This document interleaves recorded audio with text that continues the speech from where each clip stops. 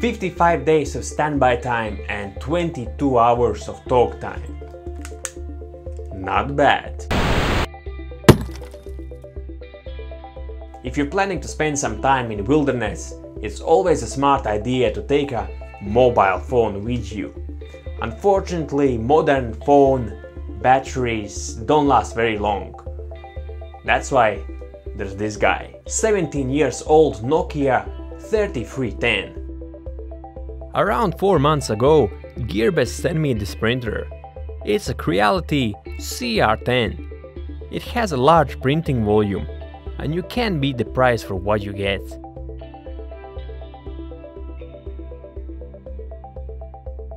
One of the first things I printed was this bus for my son.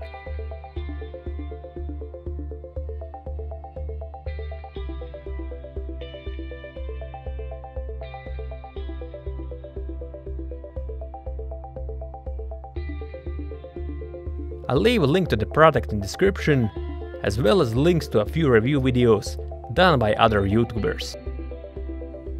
I bought a very cheap battery to extract the connector. I wonder if this $3 battery is original.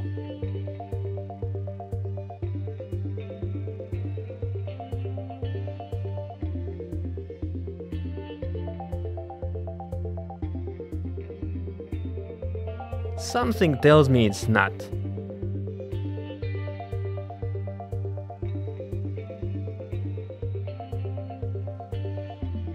I soldered this huge battery to the connector and a resistor for an LED.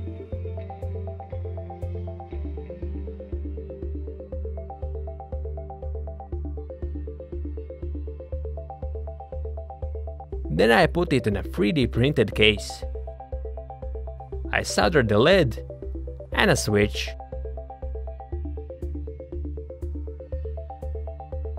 Then everything was glued in place.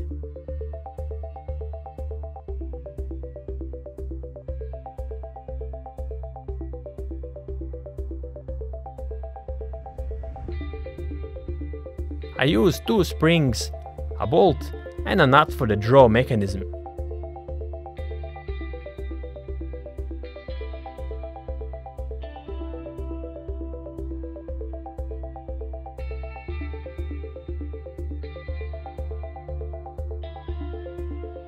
And last, I glued the battery to the case and I put it all together.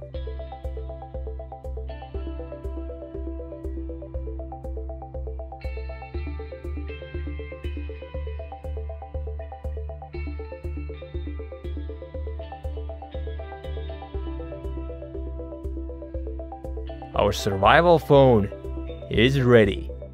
The huge battery will last for a very long time.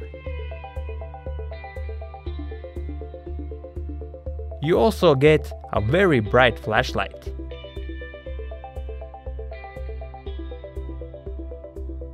With a push of the button, you can access some basic survival items.